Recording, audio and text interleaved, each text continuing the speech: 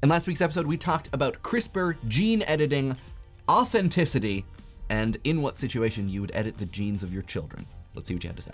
Scarker writes a really great and I think thorough comment that we're gonna sort of take in sections. We're not gonna be able to respond to everything, but uh, the thing that they mention that is echoed in a lot of comments from last week's video is that it feels much more passable to edit uh, your child's genome, genome uh, genetic material if it's in the interest of curing a disease, and that cosmetic things less so. It feels a lot more uh, unnecessary or risky. And this is echoed in a lot of the conversation you see about this technology and uh, the way that sort of the public at large thinks about it. That this kind of technology, uh, things related to it, tend to have a much wider um, adoption or you know sort of get a, get a pass when they have really clear sort of safety and uh, medical related applications. And as soon as we start getting into the cosmetic stuff, people are like, ah, do we really need to like mess with it? Like, what's the point? Scarker though does make a really interesting point saying that if they make some cosmetic change to themselves that is then inherited by their children. That's maybe a little bit more forgivable because they haven't done something to their kids that they haven't done to themselves. Um, and I had never actually thought about that. And that, in my mind too, seems to make it a little bit more forgivable. It's like, you know, it, it sort of makes it feel more, I know this is a loaded word, natural if you're inheriting it that way. More significantly though, Scarker um, responds to and even sort of extends uh, our stated concern about um, who decides what exactly a disability is and relates it specifically to autism, um, which is something that we didn't really have time to talk about, but is, I think, a huge and important part of this conversation because from a certain view, autism is not a like a disability that needs correcting or erasing. It's just a, a kind of diversity. It's, you know, it, it is a way that certain people happen to be, and it is just simply different and not any worse than the way other people happen to be. And provides, I think, a really a really important test case for thinking through how this technology is used and how it is practically applied.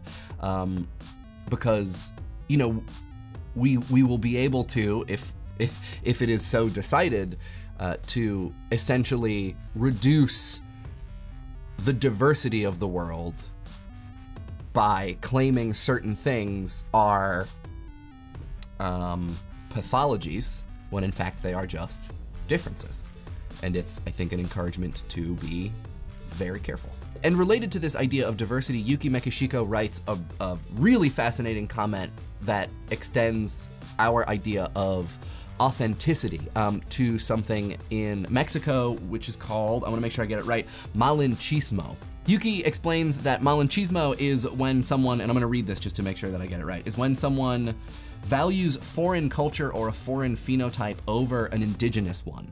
And, you know, I think the idea here is that there is one potential use or, you know, maybe misuse of this technology where if your parents do not value a more sort of indigenous uh, um, phenotype or, you know, an, a sort of indigenous expression of uh, your genes that they could design um, and select for more foreign features uh, or you know a more foreign genetic makeup. Which is maybe, as Yuki points out, another sort of challenge um, or or facet to this idea of authenticity. You know, like how much is your um, genetic makeup and your physical expression of that genetic makeup a an expression of authenticity as it relates to your um, to your background and to your heritage and you know is there something that is lost in the potential eventual use of this technology to, you know, purposefully um, homogenize uh, a uh, an entire group of people.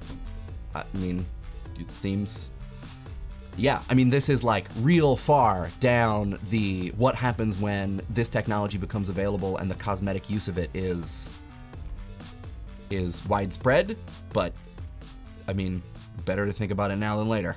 Alex Power writes a comment about how all of this relates to being gay and being trans, uh, and confronts right up front the idea that um, the existence of a gay gene or a trans gene is not not an uncontroversial thing. And I think that this, before we get into sort of the the main part of of this comment uh, is something that is also worth considering. That you know, there are a lot of people who I think want to boil down the entirety of human experience and human existence to um, our genes. Uh, you know, like, did you get the dog lover gene? Um, and like, that's, you know, there are a lot of things that might describe why someone does and does not like dogs um, that goes far beyond their genetic makeup. But that when you boil down everything that makes someone who they are into their genes, you get into really, you get into hot water very quickly. So that being said, in this situation, like many others, there is a question about whether or not it is responsible for you to make a decision for your child um, before, you know, ba based upon what you would ass assume uh, they would want um, and the relative or comparative value of going through an experience like transition. Uh, and is that something that you want to save them from, or is that something that is that is an important part of you know that that identity or their assumed identity. And yeah i mean as alice very very clearly says there's no easy answer.